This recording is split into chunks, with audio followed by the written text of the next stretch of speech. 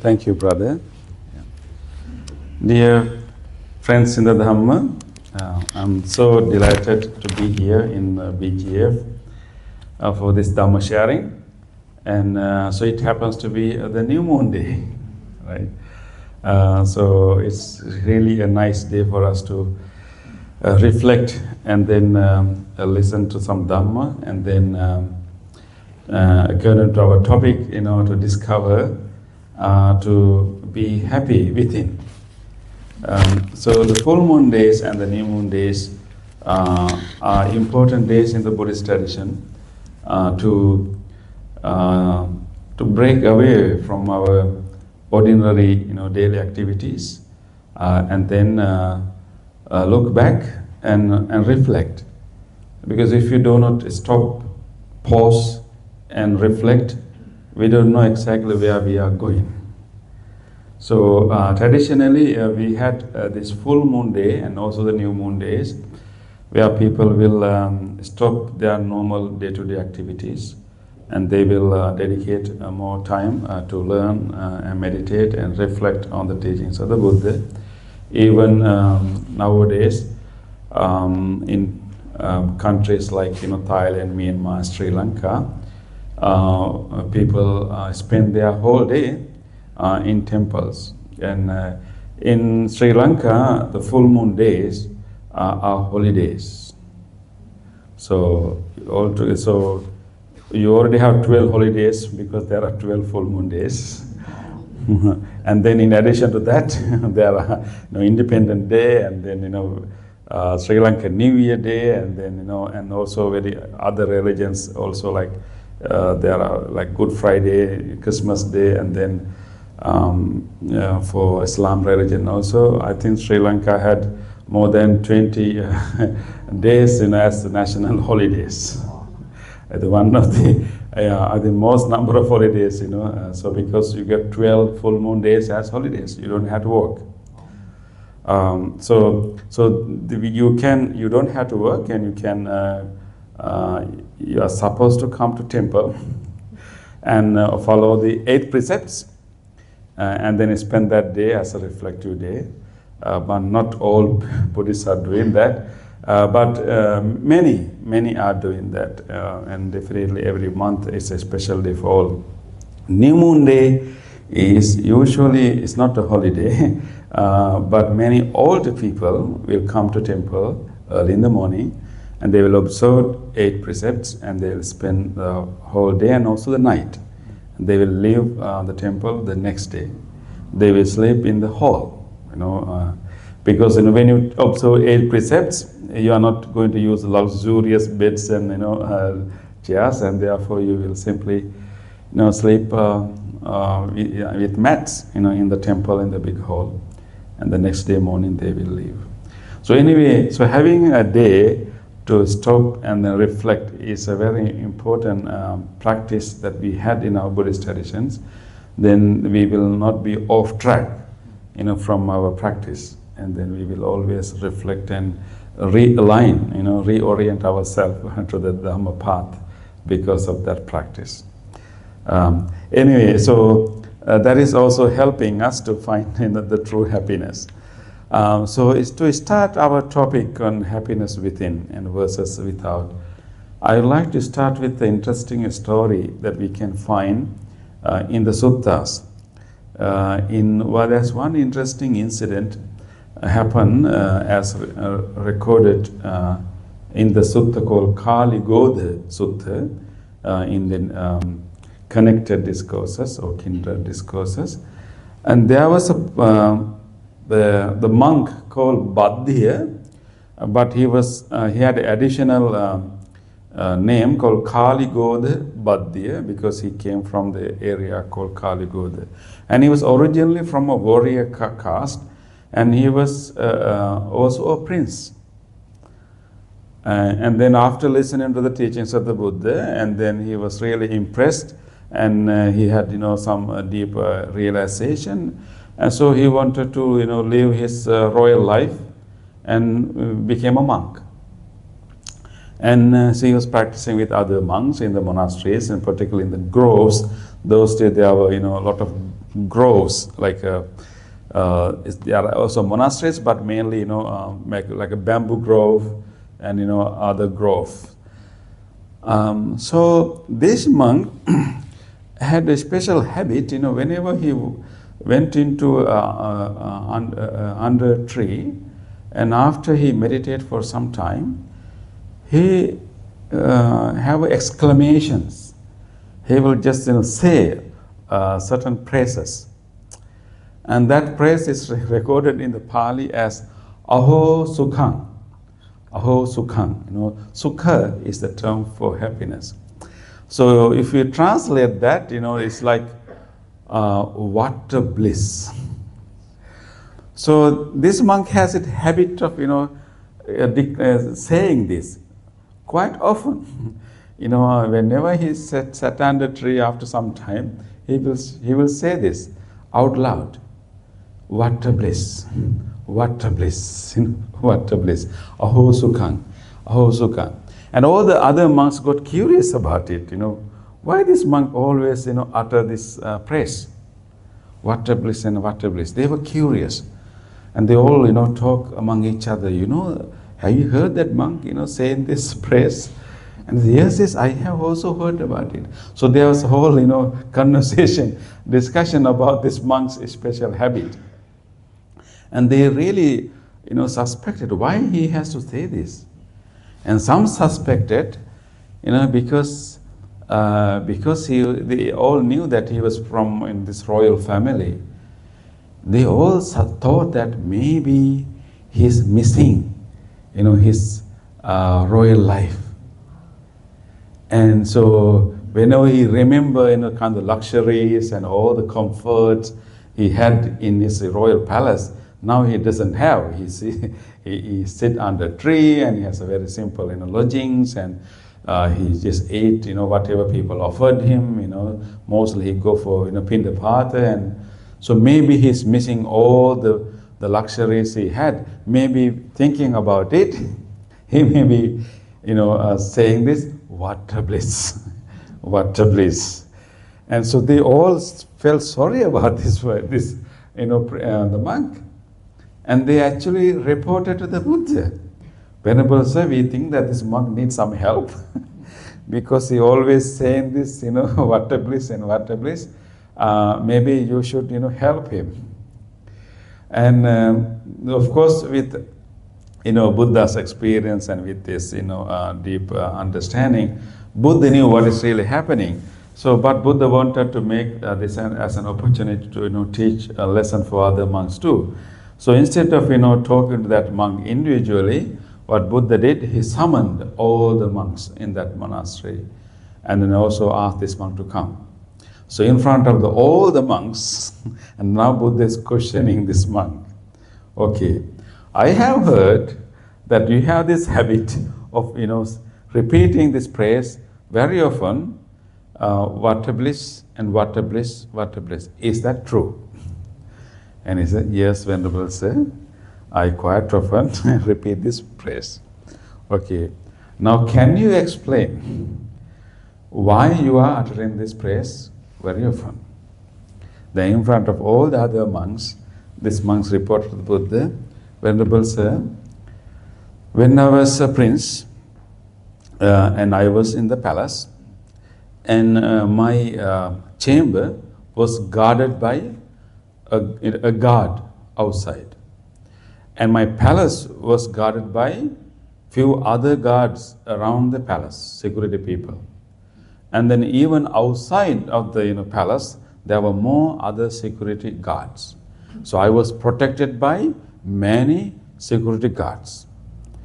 Even though I had so many security guards to protect me, when I go to sleep, when the Brassa I couldn't sleep well. Because, you know, there were competitors, you know, and there were other, you know, um, um, the competed, competi- competing uh, princes to the throne. So there was, I was always afraid of being attacked or being, you know, uh, th- threatened. And, and moreover that, I also had a lot of other responsibilities I was assigned. Uh, and, and, and also uh, my father is also quite afraid of a lot of spies. Because those days, you know, kingdoms, you know, were not protected. There were no like, you know, United Nations. And, you know, there were no sovereignty. You know, if you are powerful, you can simply go and you know, conquer other country. So there were a lot of spies were there. So I lived a life of, you know, stress and tension. And, and, uh, and although I have so many guards around me, it was not a happy life. It was a life of, you know, um, insecurity and it was a life of threat. Venerable said, now, since I renounced, you know, my, you know, royal life, now I am not going back and claiming my, you know, uh, my rights to the throne, and I am now free, and now I rely on very simple needs. And when I sit under this tree with, without all these burdens on my head, without all this, you know, feeling of fear and threats around my head, I feel such a release. And whenever I was able to uh, meditate well, whenever I was able to uh, uh, settle my mind and tranquil my mind, I feel such a deep relaxation and relief in my body and mind. So I that joy, that bliss I never experienced, even though I had such a comfortable bed, comfortable you know uh, luxuries in that palace. So Venerable Sir, the reason for me to say what a bliss, what a bliss, is actually to actually to rejoice this freedom, this bliss, and particularly this joy that coming within me with, with, the, with this meditative joy, the relaxation of the muscles, relaxation of the, of the mind that I experience. So that is why Venerable Sir, I am repeating this phrase, what a bliss, what a bliss. So all the other monks who thought that he may be missing the, his previous luxuries, you know, they were able to overcome their misunderstanding. What he is referring as sukha, or the bliss or happiness, is not the happiness that he, he had in the palace, but actually the new happiness, new found happiness that he is enjoying in his new life as a monk. So then Buddha explained to the monks that you know that is the kind of happiness that you can develop that is not relying on anyone else, that is not dependent on anyone else, but that is something that you can independently develop within you. And this monk have experienced that happiness, and it is it is uh, because he's experiencing uh, it um, um, as a new experience.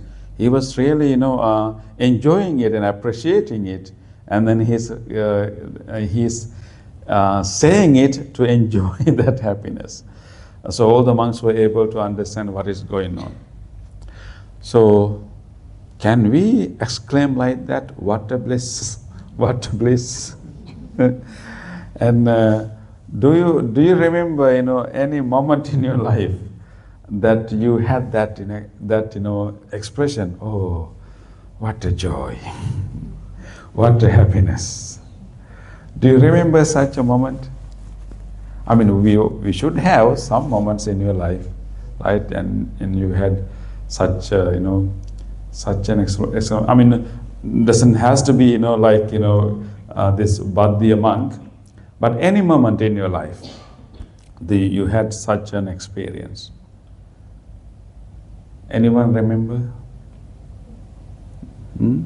Yes, maybe maybe like simple things like maybe reunion with your family, right? That could be one simple, you know, joy.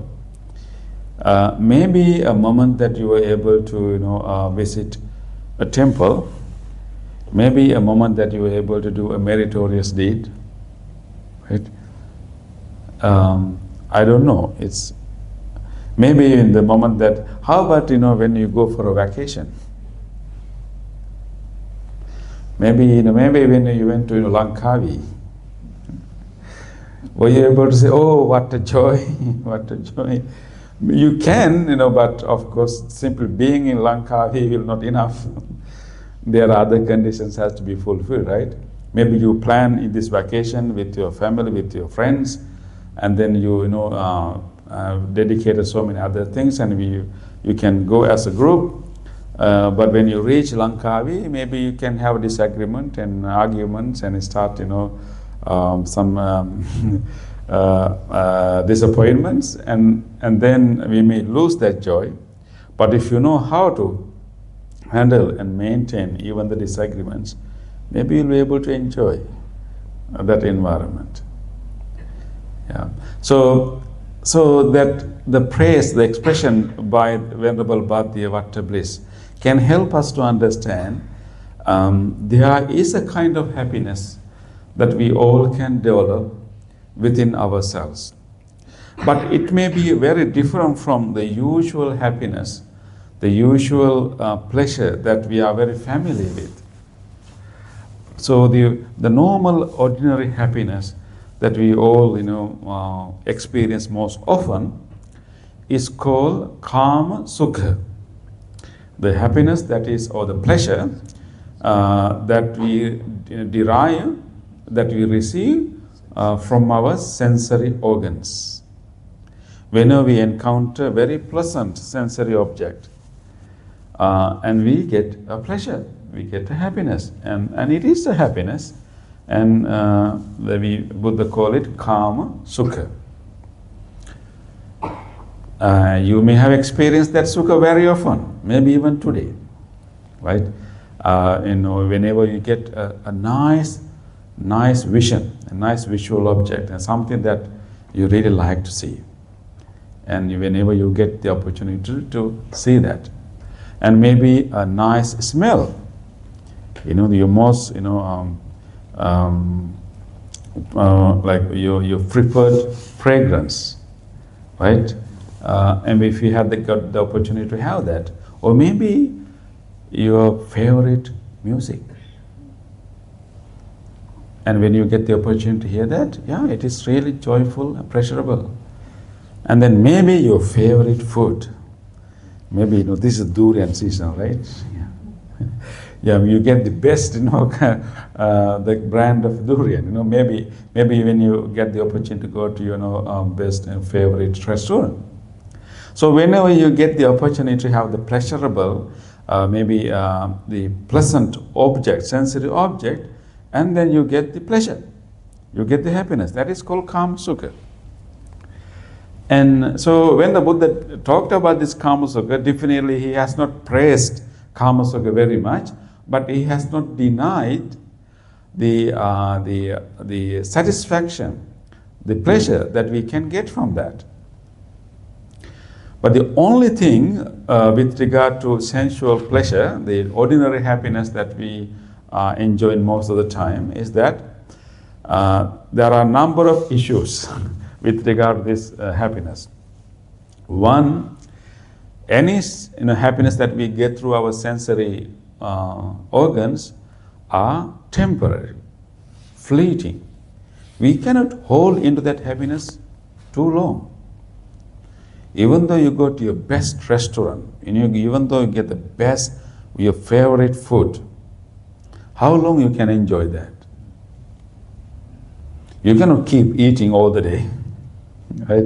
Uh, it is temporary. Even though it's your favorite food, when you keep eating that for some time, you, we ourselves get fed up with that. We can only enjoy that food only to a certain period of time. And after a while, we get uh, fed up with that and we will look for another taste. Same with all other sensory pleasure. So the issue is that that that sensual, the happiness that we get from sensory pleasure is is exciting. It's you know it's a elation, it's you know upliftment in a way, but we cannot keep hold into that. It's very temporary and on, on sometime we cannot, uh, those objects are fleeting too. You know, our pleasurable objects doesn't stay too long. Even our favorite food, if we keep it too long outside, can get rotten.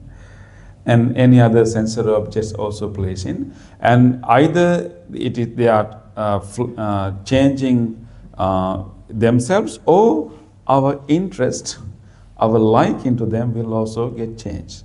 Therefore, that is the problem. We cannot hold into that happiness too long. It's too fleeting. So that's one issue with that. And second issue with that is actually because of they are fleeting and we cannot you know fully satisfied um, uh, and the other other issue is, is actually because we had to rely on other people and other things for this happiness. Uh, any sensual pleasure is not completely under our control. Uh, we other people and other conditions, other factors has to be perfect in order to have a really nice sensual pleasure. Many other conditions have to be perfect. Even though we have, you know, and uh, and so so it's all relying on other conditions, other people. Uh, and even like you know like good praises that you get you know and compliments we get from others. It's a it's a nice pleasurable happy experience right? But you have to wait until other people compliment you. It all up to others. It's not uh, under our control so we cannot fully control it and we all have to rely we are at the mercy of other people and other things when it comes to our happiness of sensual pleasure. So what Buddha is saying that actually these are nice, but they are limited. And, and there are some issues. And there's a special praise by the Buddha. Buddha said that sensual pleasures are appasado, that means they have little satisfaction, but bahu adino. There are many uh, consequences. It has a pleasure, it has a satisfaction, pleasure, happiness, but it is little. But in order to get the little happiness, we have to sacrifice a lot. We have, there are so many you know, uh, burdens we have to take uh, to get that little satisfaction. So many burdens, so many uh, uh labor, so many you know stress we have to you know uh, go through in order to get that little satisfaction. In addition to that, there's also other issues. That is, uh, we can get addicted to the sensual pleasures. Addicted means actually um, because we, are, we will not be fully satisfied with that, and we can keep we try to you know get that satisfaction again and again, and then sometime uh, once you get satisfaction with certain sensual pleasure, and the next time you, you, you, eat the same thing, you will not get the same satisfaction, then you have to increase the dose. and then initially you were so happy when you had that smell, and the next time you didn't get the same satisfaction, so you have to increase the dose. The, when you listen to the beautiful, nice song, music for the first time, you are so happy, so elated, and next time you listen to the same song, you didn't get the same level of satisfaction, then you have to increase the dose. And we have to keep increasing the dose more and more and more and more. The more we increase the dose, the more the, our satisfaction go down. As a, as a result, we can get addicted, and there can be uh, so many other problems with, with regard to that.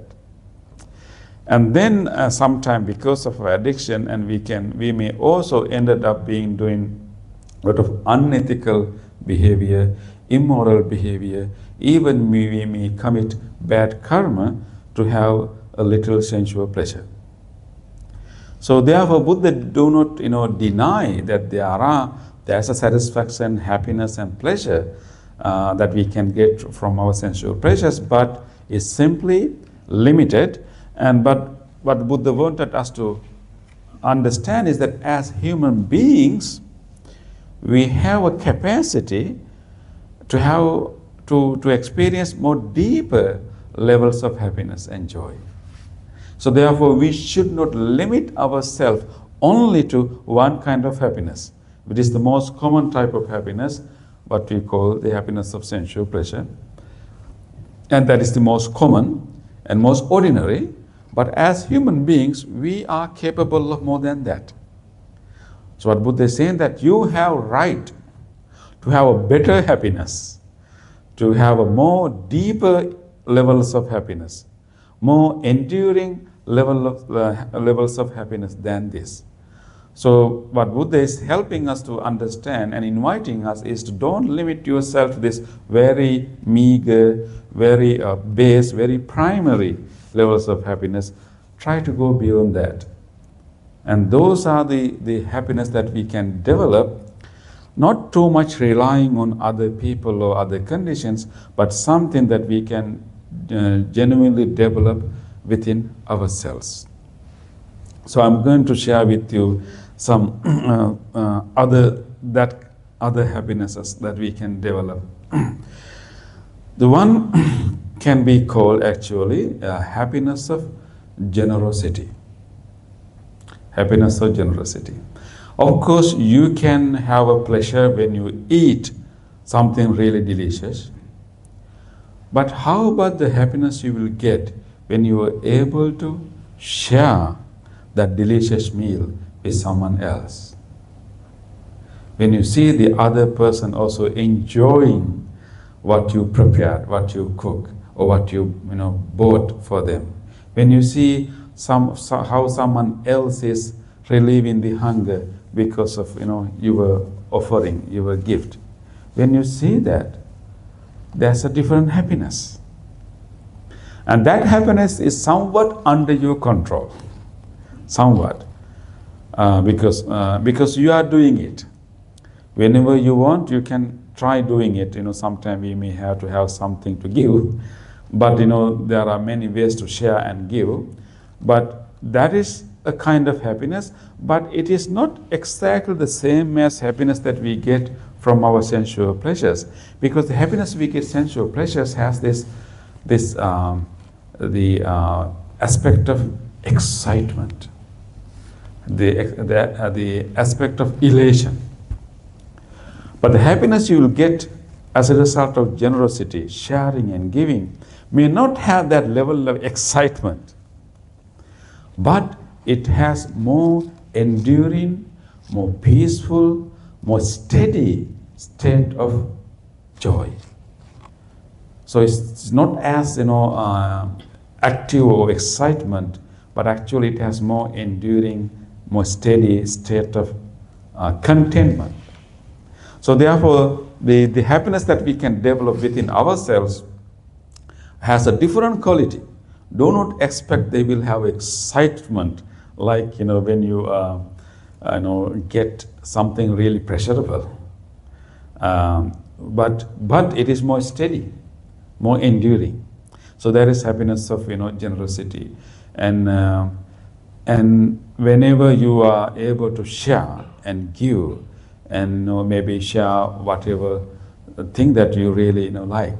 Um, one time I was able to you know I I had a nice. Uh, uh, slippers, you know, nice slippers, and it was really comfortable.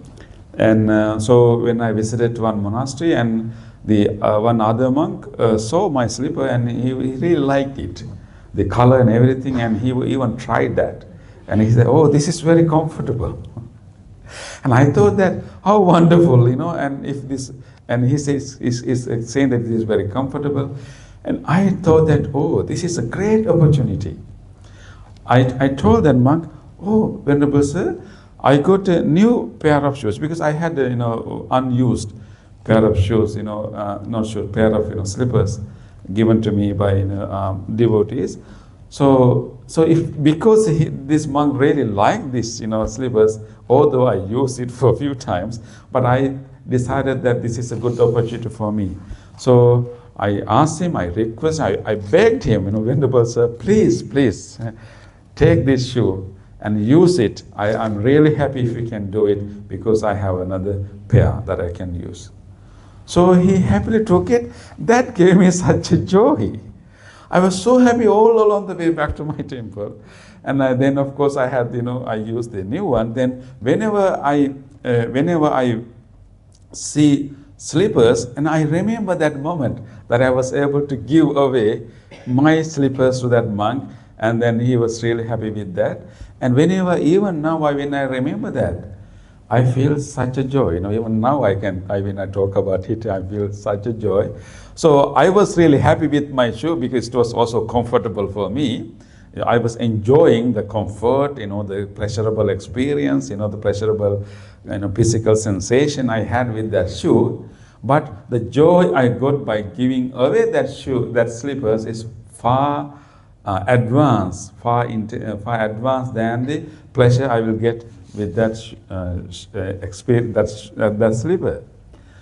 So I mean, you may have such experiences too. Like maybe you can, maybe you can think about a time that maybe you prepare your own meal, you prepare your own lunch, you purposely prepare that, you know, with all your favorite, you know, uh, you know things, and then uh, you you're thinking about I will have my, you know, lunch today, and then maybe you met someone, you know, your colleague or someone you haven't brought the lunch, and you decided to share your lunch with others. Maybe you were able to like buy lunch for someone, you know. And um, so you eating your favorite food give you sensual pleasure, but sometimes sharing our favorite food with someone else can give us a deep level of joy and happiness. And and the and the, the pleasure that you will get by eating your favorite food will be very pleasurable, but it will not give you a happiness or joy afterwards. Uh, and afterwards you can, okay, you, um, how many such delicious meals you have eaten in your life? Can you think about them and still feel happy? Sometimes most delicious, you know, things we ate may not be healthy. You'll be very pleasurable when you are eating it, but after you ate it, you feel guilty that you, you ate, you know, uh, unhealthy food. So uh, you are pleasurable, you are happy at the time you are doing it, but later you, there's not much chance that you can be happy. But when you share your meal with someone, and even later when you think about it, still it can give you such a joy and happiness to, to us. So that is, that is more like a deeper level of happiness, happiness or generosity. And uh, there are also other forms of happiness, and, and particularly you can also think about uh, happiness of um, um, moral behavior the happiness that comes from sila. Uh, that that is also a deeper level of happiness that you know if you um, manage to follow your precepts. And let's say you you had uh, maybe in a full moon day or maybe on a Vesak day, maybe a special day, you observed eight precepts, and you try to follow that you know precepts throughout the day, and maybe even the evening you you know have your usual hunger but you keep drinking without eating and you just want to stick into your precepts and you somehow manage with all the difficulties and when you complete the whole day the next day when you think about the day you spent and you feel quite contented and you can rejoice the the the moral ethical day that you spent you feel kind of purity of your conduct you know maybe you one day you, you maybe you will even observe in the five precepts and one day you get an opportunity to tell a lie. I mean, if you tell a lie, you could have been, you should have received a lot of advantages. Just tell one lie, you'll be saved from a lot of troubles, you'll get a lot of profit, you know, and then you get that opportunity. You know that no one will find out. I just have to tell this lie, it will be very advantageous to me. Okay? And now you are just about to tell the lie. And then you suddenly remember, oh, you know, I'm supposed to follow the five precepts. And you remember that. Okay, you thought, okay, even though this, this can be very disadvantageous, uh, I'm going to stick into my precept. And then you didn't tell the lie.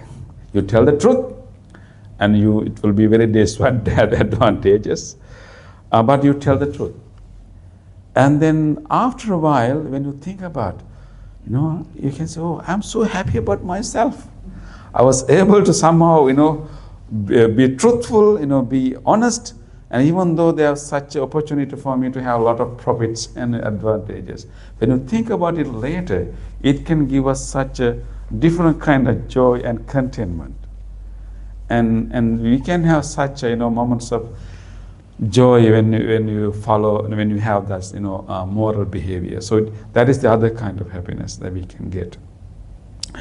Uh, and also, like sometime, you know, when we um, when we live our life, you know, we uh, fulfill different roles in our life.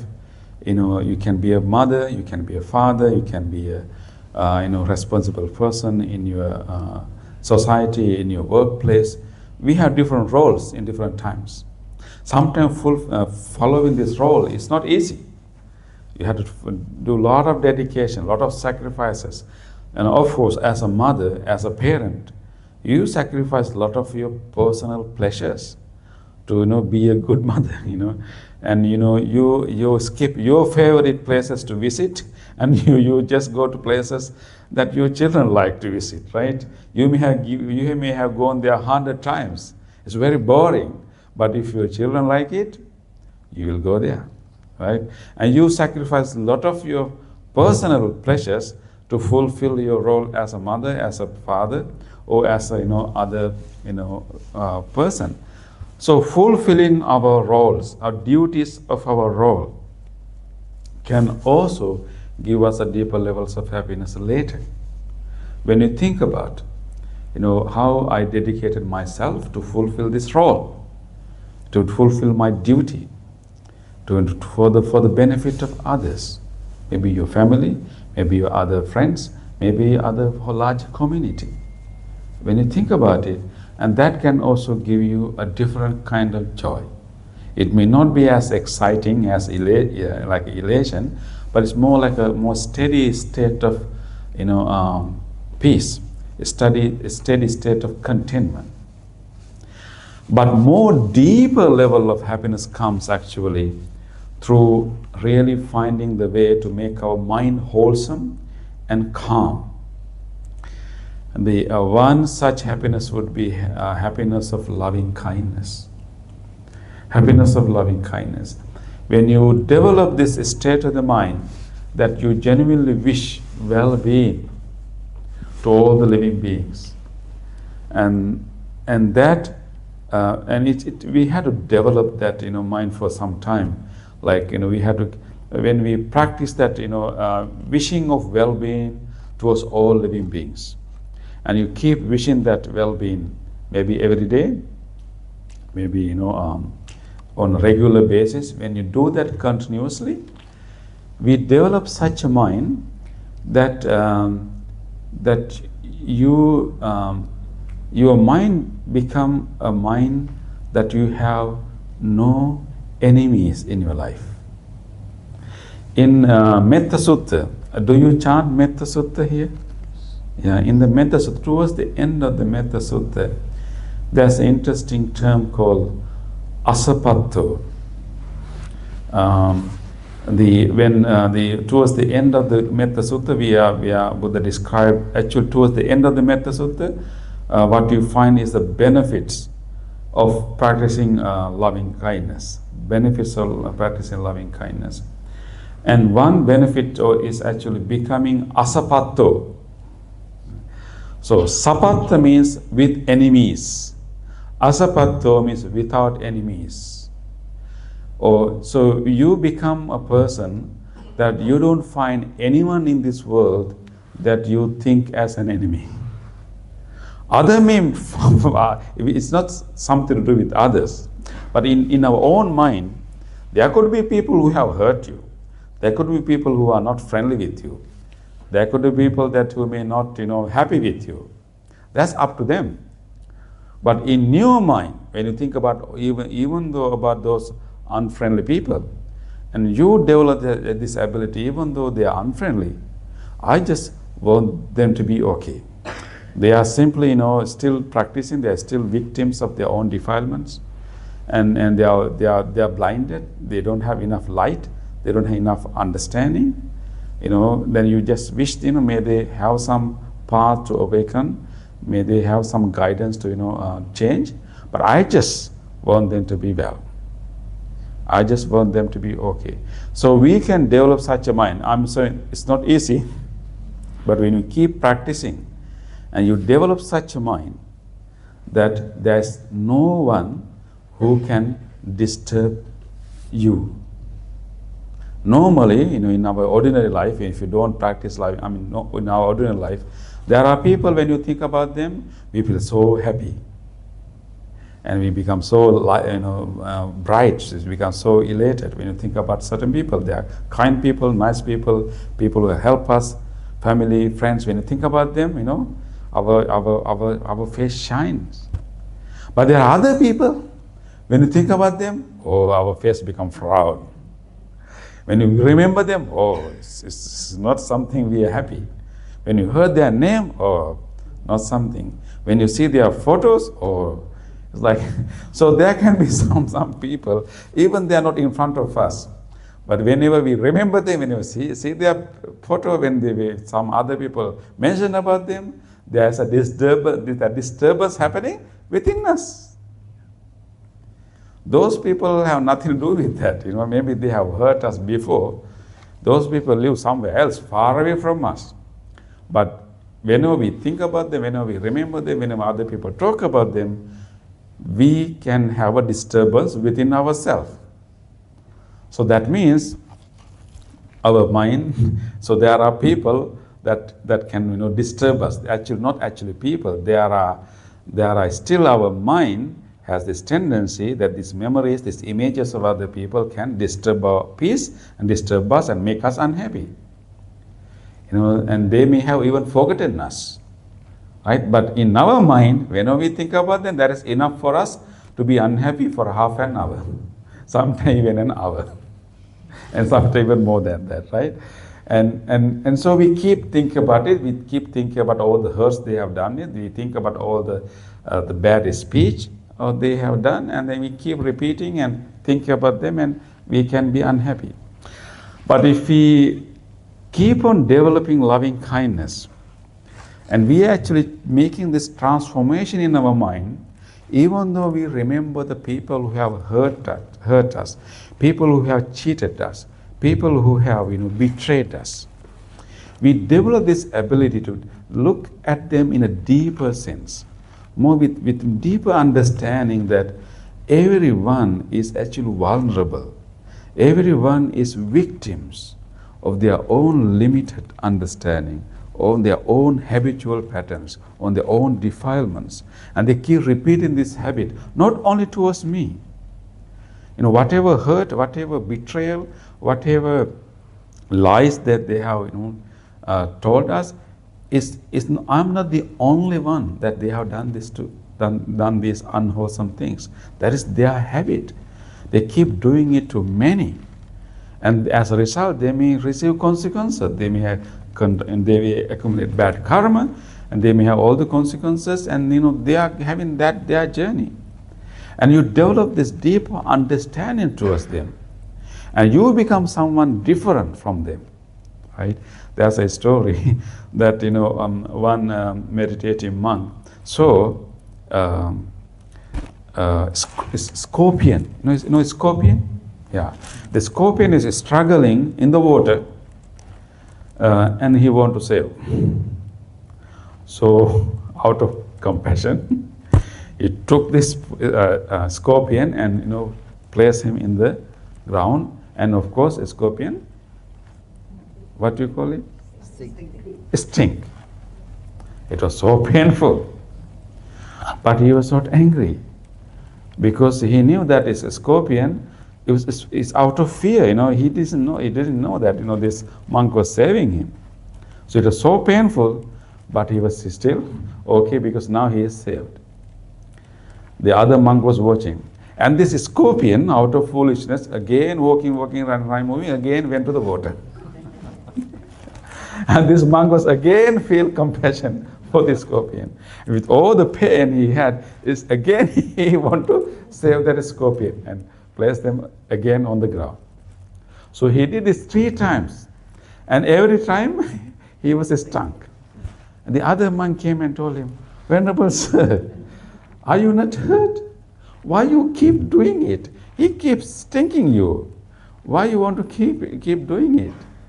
And he told the monk, it is the nature of the scorpion to stink. It is the nature of the scorpion to, scorpion to stink, but it, is my nature to help and serve. So because he stinked, I'm not going to change my nature. Because my nature, my habit, my practice is to save and help. It is the nature of the scorpion to sting. So what to do is the nature of the scorpion, and he's fearful, he's afraid, he's self-defensive, he's not enough knowledge, he's not, he doesn't have enough understanding to save his life. It is the nature of the scorpions to sting. So we, you can have so many scorpions in your life. Nature is to sting. But because of their nature to sting, you don't have to sting them. You don't have to like you know bite them. You have to protect our nature, which is the you know uh, the compassionate nature that we want to practice. Of course, there can be more skillful ways to you know save the scorpion without using the hand. That could be the more you know skillful way, a smart way to save them without being stung. So sometimes when you want to help other people, maybe you have to find a smart way to help them, not to not to be always deceived or not to be you know hurt. You have to find some smart way. But importantly, we need to understand that you know just because other people have these bad habits, other people we have this habit of cheating and hurting others, we should not be affected or change our good nature because of their bad nature. So practicing loving kindness continuously on a daily basis can create such a mind that even though you remember people who hurt you, that will not disturb you. That will develop, that will give you more kind of compassion and empathy and more understanding that this is the nature of human mind. And this is the nature of human mind. This is the nature of a scorpion. And you develop understanding about human nature. And then, so no matter who you remember, no matter who you see, that will not disturb your mind. Imagine that we develop such a mind through, through our practice of loving kindness. We are not going to change the world. We are not going to change other people. You know, we are not going to you know, change other people's habit of lying or cheating or you know, hurting. But you are going to change your mind, how you see them, how you respond to them. And, and you can develop such a mind. That is what Metta Sutta is saying, you know. So Buddha has said that because it is possible. It will take some time, it will take some practice. It's called becoming asapatto, becoming someone that no one can disturb our mind. becoming someone there's no enemy, there's no uh, uh, there's no one who, who will dis- who can disturb the peace of your mind. So that is the deeper joy and happiness we can develop through practicing of loving kindness. That is coming from meditation. Of course, when you practice loving kindness in a very concentrated manner, whenever you can feel that loving kindness in your heart, you genuinely generate this wish. Sometime at the beginning, you don't feel like wishing well-being to all people, because you know that there are some people who are who are not nice. Right? Some people have so many discrimination. So you don't, you may not feel like wishing well-being at the beginning, but you know, uh, the the one method is actually we don't wait until we feel like wishing well-being. You just start wishing. You may not feel like, but you just follow the instruction advice. You simply wish, may all beings be well and happy. You keep wishing it. You may not feel it, but you keep wishing it. The more you wish, and maybe you also develop uh, this uh, understanding, and you also use some wisdom. The, the, when you keep doing it, there will be one point that you feel, oh, you will have the feeling. It is like you know when you, sometimes when you, uh, when you uh, smile, you don't feel like smiling. You know, you don't feel like smiling, but you can smile fakely? And just you know, stretch your mouth. But when you keep doing it, and there'll be one time you'll be actually smile. so we said, you know, I mean, there's some statements that fake it until you make it, you know. But it's, it's, it's not really doing, it's not a dishonest thing, but, you know, there's, you know, even in, in therapy, uh, for depressed people, uh, the therapists are telling them, okay, have a gentle smile, just, just, just, you know, flat mouth, you know, gentle smile. And because they are not used to it, when you make that shape of the mouth with our muscle memory, and it will send a signal to our brain, and we will actual have we will have actual smile as a result of that. So, same way, we may not feel like wishing well-being to all people, all beings. But when you simply say it, following the structure, following the you know um, the the method of the loving kindness meditation, when you keep saying it, maybe ten times, by the eight times you may generate the feeling. And when you have that genuine feeling that you develop this genuine willingness, how good if everyone is okay. How good if everyone is fine, if everyone is out of trouble. How good. And you have you generate that feeling also when you keep wishing that. That feeling that you are genuinely having this goodwill, this wish of benevolence. And when you have that gen- actual feeling, it is such a joy. It gives it, of course, changes your whole physiology, definitely. It releases dopamine, right? and, and it releases the dop- dopamine, and, and it really relaxes your whole muscles and the body. You get whole different physical experience as a result of that. There are so many other benefits too. But that is the kind of joy that we can develop. So that joy is not dependent on anyone else. You don't have, not everyone has to be nice to make that wish. People will be still not nice, but you can still make this wish for them to be nice, you know, for them to be well, for, for them to be happy. And so that wish, you can do it by yourself. And, and that is under your control. And then as a result, and you may, when you do it long enough, you have this access to deeper joy and happiness. And it is under your control. Whenever you want that happiness, just sit down and make this, repeat these wishes few times and do this meditation or a formal way or just in, in your couch or wherever, in your even driving seat. And just do it, you know, many times. Just repeat that wishes. Whenever you want that happiness, that joy, and there'll be point, you will get that joy. So, and even that joy can also influence others.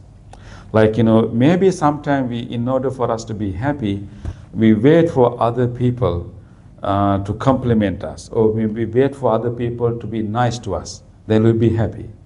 So, in this practice, maybe we don't wait other people to be nice, we become nice. We don't wait other people to smile with us, we smile first. When we smile first, oh, they will also change. Sometimes they have forgotten to smile because they are going through a lot of troubles and pain. And when you when you have when you have this you know mindfulness uh, to smile, you start the smile. Don't wait until other people smile. Start you. Be proactive. Smile first, and then others will smile. You know. Um, uh, and I remember, you know, one day uh, uh, in in Pittsburgh, we were traveling to Ohio. You know, uh, we have other branch temple in Ohio. Uh, so I was going with the other American uh, friend, a devotee, and he was driving the car. We had to, you know, pump gas, you know, to our car. So we stop in the gas station. You know, uh, uh, what do you call here? Gas station, right? Petrol station. Huh? Petrol station, yeah. We uh, in the petrol station in the highway. We came out, and so the we you know we get out from the car. We were pumping the gas, and there was a lady who was actually just about to finish the you know pumping the gas, and she was just looking at us because I'm in my robe, right? So it's a very strange thing. So the, so automatically she will look at me. So as soon as she look at me, so I just smile. and you know this is our habit right so so and for western people smiling is, is, is not something they are familiar with you know so they will talk they will say oh, how are you and they will talk but they will not necessarily smile it's, it's, uh, their, their muscles are not very much trained to smile they have a special reason to smile they will talk to you but they will not necessarily smile so whenever that you know, lady you know, look at me I just smile. And then she also gently smiled. and, and that was that. And then, and, and then she stopped, she finished the, uh, pumping the gas. And then, and I saw that, you know, she is driving one whole, because she was a little bit far in the other, you know, pump.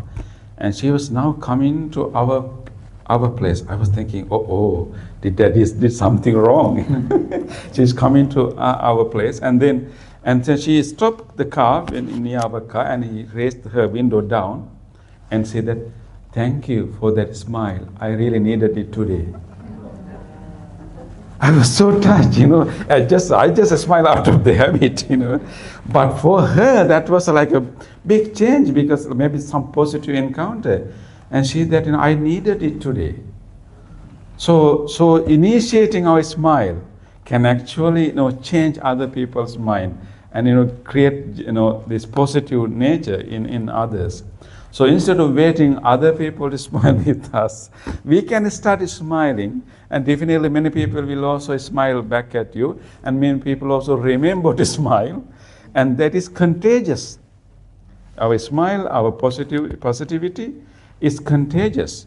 So you can actually you know create a whole positive environment in any place by simply you know going there. Even you go to a you know, coffee shop, you know, even your workplace, you know, just where I smile. Maybe just, you know, go with a smile and when other people see you, you know, uh, and some people may not necessarily smile, but that is, that is making a positive impact on other people.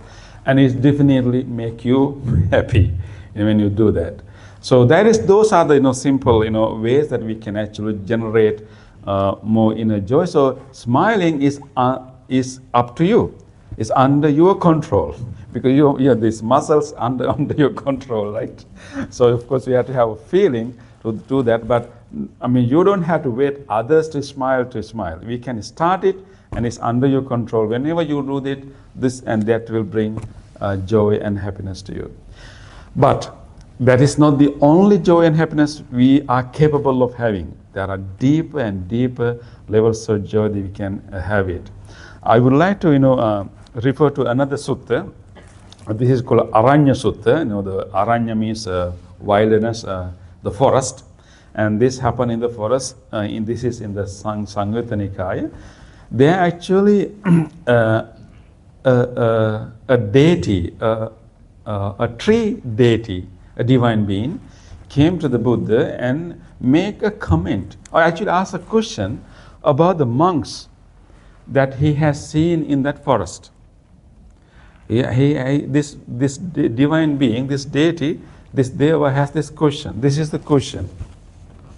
He said that those who abide in this forest, peaceful, living this holy life, and they eat only a single meal, why is their face is so calm? And so this there is asking, you know, they are living in this very simple you know, uh, uh, frugal, uh, they are living this simple environment. They only even eat single meal. And in those days, many monks only went out for one time, so they had, you know, one single meal. So, uh, particularly maybe those monks, because you can observe uh, additional, you know, vow to eat only once a day. You know, that's, you know, in addition to our normal uh, discipline, you, there are also optional, you know, vows we can make.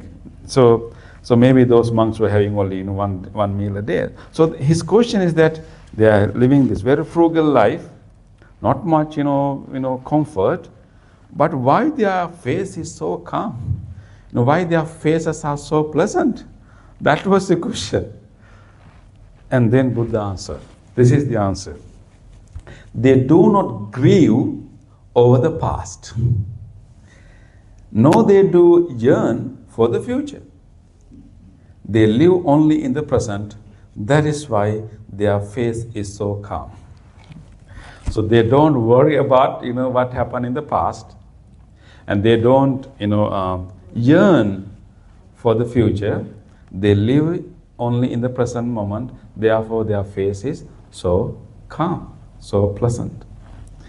Uh, uh, it is, and then and further said that it is from yearning for the future and from grieving over the past that is how fools become withered.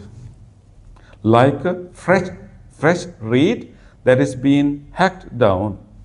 That means um, you know the, um, the when the, the fresh reeds when you cut from the you know, bottom, and after maybe uh, uh, half a day or day, all this fresh, you know, um, uh, green uh, reeds will become withered and have less energy and become, you know, lose all the vibrance and everything. So Buddha said that the unwise people, from yearning for the future and from grieving over the past, become withered like those, you know, the reeds that are cut from the root.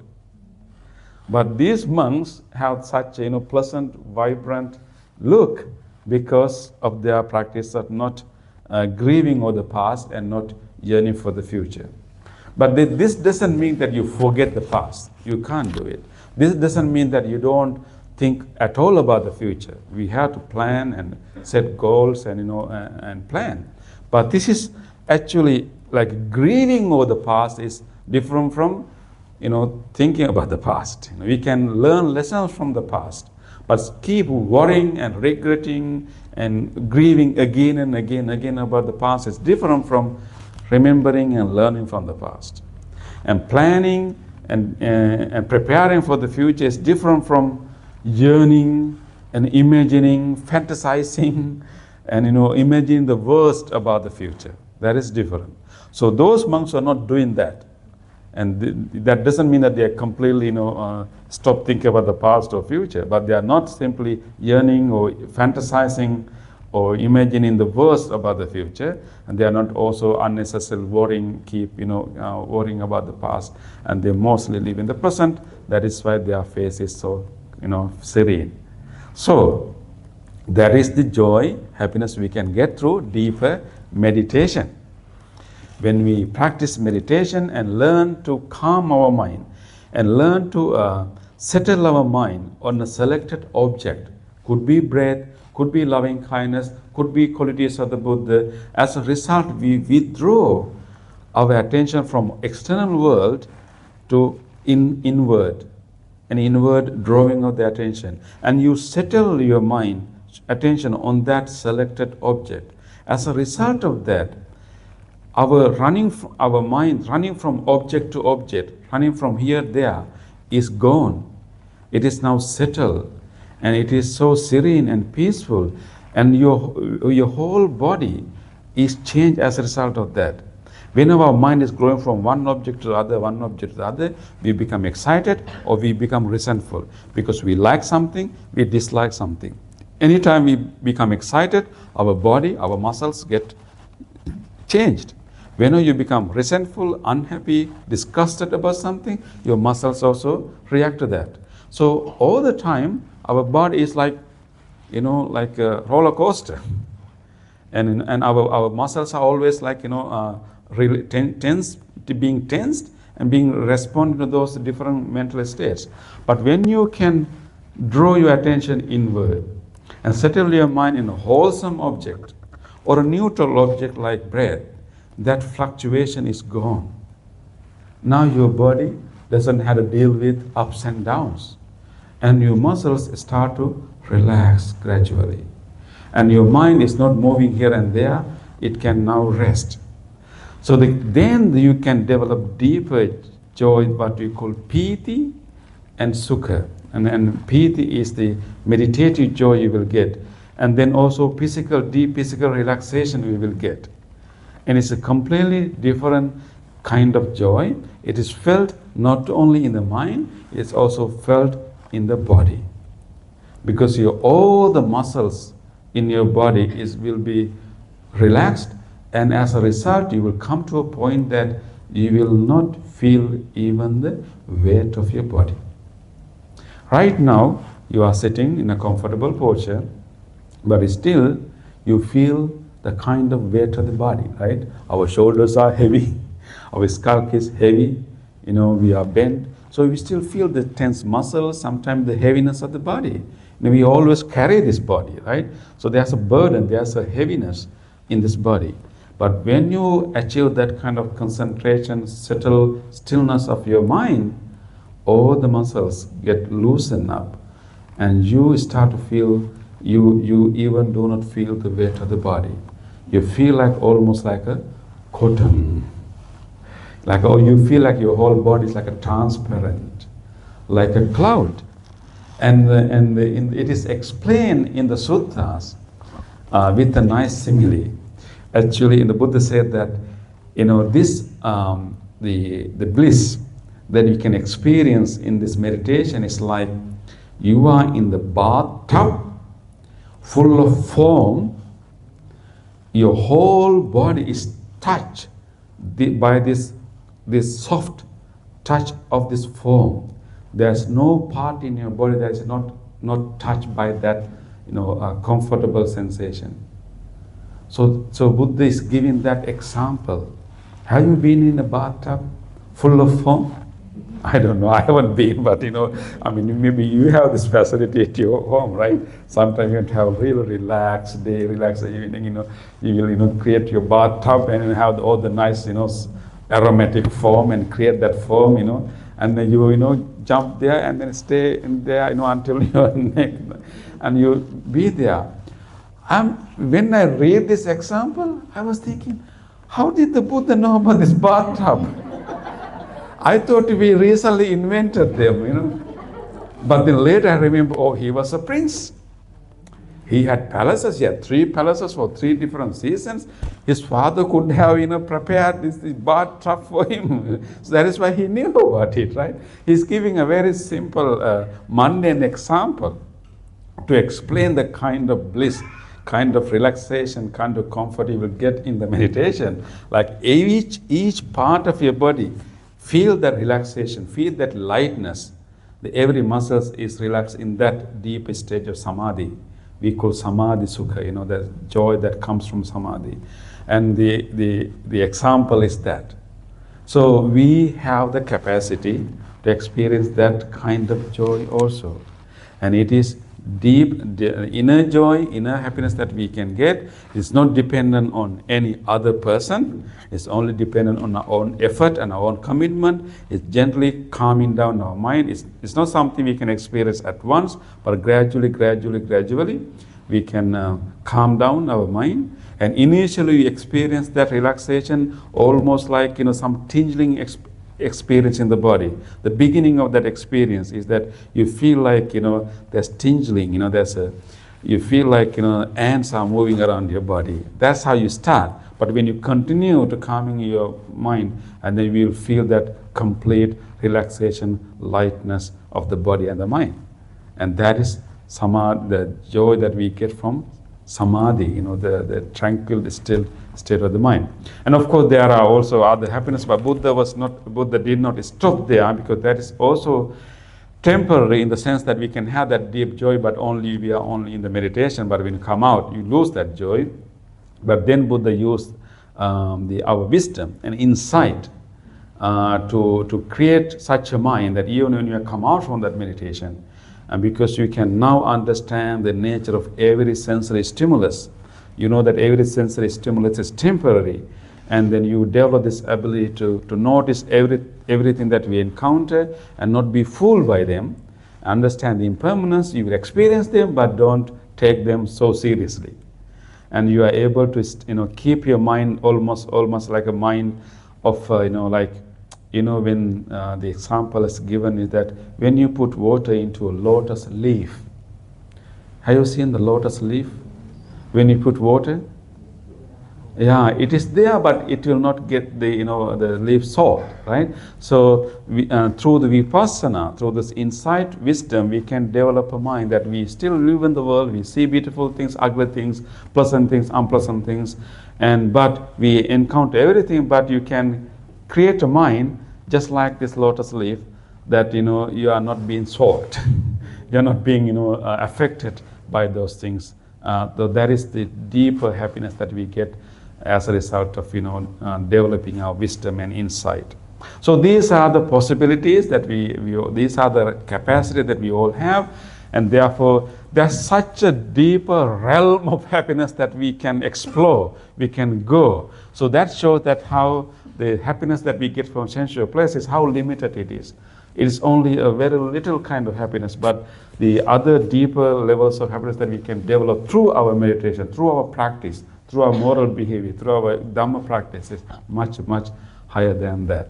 So, the Buddhist path is actually joyful path. It's not the suffering path, you know. It's overcoming the suffering, but very practice also uh, have this joy, joy and elements of joy and happiness along the way. So I wish that maybe all have the opportunity to experience all these different levels of joy and happiness within. Yeah. Thank you.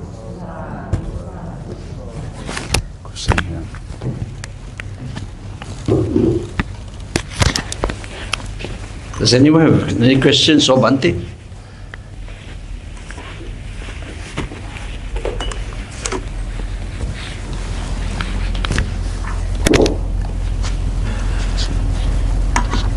Good evening, Bhante. Um, can I ask a question? Um, Yes. Just now, Bhante talked about the joy from meditation, uh, the samadhi part. Uh, how about from insight? Can you give examples of joy coming from insight? Insight, yeah. Thank you.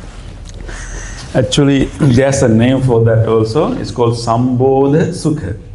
Sambodha Sukha. So the happiness that we get from samadhi is called Upasama Sukha, like a happiness of tranquility. Sambodha is come from bodhi, you know, like Sambodha. Sambodha Sukha means happiness of insight, happiness of understanding. Um, it is, maybe if I give an example, of course it comes in the meditative, deeper meditative states. But if I give you a very mundane example, um, uh, it is like, you know, we have learned the Dhamma and we know that how, you know, craving generates suffering. We also learn how we can use our mindfulness not to let those, you know, craving urges overcome us and then and then and and then we can we can use our mindfulness to stop that. So we have learned we have learned a lot of dhamma uh, as theory, you know, as you know uh, we call right understanding. But through our meditation, through our constant practice, there can be moments that we personally directly experience what we have learned before. So there's, those are the moments of direct experience. You have learned that craving creates suffering, but have you experienced it? like have you directly experienced it? Maybe one day, one day you have such, you know, really, I really want, you know, uh, want that. You know, uh, you see something in the billboard, and then you really develop this craving, and then and then you and then you start feeling how how uncomfortable am I, and and you realize, oh oh, this is exactly how you know craving creates suffering. I was so happy, I was so content. I had no idea about this, whatever this new object, new thing, you know, new you know new version or thing thing. But as soon as I saw it, and that desire came to me, and now I'm yearning for it. I feel like without it, I'm I, I cannot be. And you reflect and re, and directly experience, oh, oh, this is how craving creates suffering. So we we can call them aha moments. Yeah. So those moments you realize that ah, ah this is what Buddha had taught. This is what I have learned before, but now I'm directly experiencing it. So those are, the, of course, those are the you know like a, uh, learning from the bad experiences. But there are also good experiences that sometimes when you directly experience the impermanence, we have learned about the impermanence. But in deeper meditation, you can directly experience the how we can experience impermanence is actually uh, directly seeing, experiencing, arising, and passing arising and passing. That is how we experience the impermanence. So, in the deeper meditative experience, when you can, maybe you, you feel we have a sensation, pleasurable sensation, or be, I may be painful sensation, or maybe you hear a sound or whatever, and you directly experience the beginning of that experience, the arising of it, developing it, coming to a peak, and then slowly dissolving that. If you can stay focused throughout that whole process, how that experience occurs uh, and then how it disappears. You directly experience impermanence, and that is a whole different understanding, not the conceptual understanding. When you directly experience it, it becomes, aha, this is what you know impermanence is. And those are the moments of you know kind of joy when you directly experience it. And of course, as a result, and when you come out of the meditation, and then you can maintain such a state of the mind that no, no, not many changes can disturb you. Because you have experienced it, you have accepted it, so you develop a kind of resilient mind as a result, and so it also gives you more steady uh, peace uh, even out, out, of the meditation. But in deeper meditative context, we get aha moments and directly experiencing what you have learned before, and you are personalizing it, you are directly realizing it, and that is a joy of understanding. Yeah. yeah.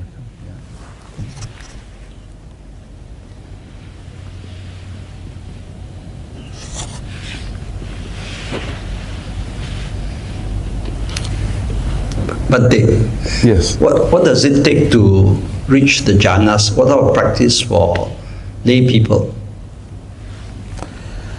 Um, it's, it's actually the gradual practice, definitely. Mm, so, uh, it is something that usually you take, you need some continuous effort, practice to, uh, practice do it. So, may usually we experience such a you know a deep level of stillness in the in the retreats. Uh, maybe you know like when you attend the retreats, then you fully focus on that practice. You keep doing it, and as a result, you can you know uh, hit you know that kind of you know blissful states. But uh, having a regular practice on our daily basis can uh, uh, enhance the possibility of having such a peaceful state in the retreat context. If you don't have a regular practice, simply going to retreats and you know trying it you know within that few days will not help you to go all the way there. So I would say that you, it's nice to have a regular practice, even a short practice like you know having loving kindness meditation or breathing meditation, a few minutes a day, and then you are gradually training your mind to you know uh, to settle down and calm down. And when you go for a retreat and your mind is already prepared, already have training, and very easily we can you know experience such uh, peaceful states. Yeah. Thank you.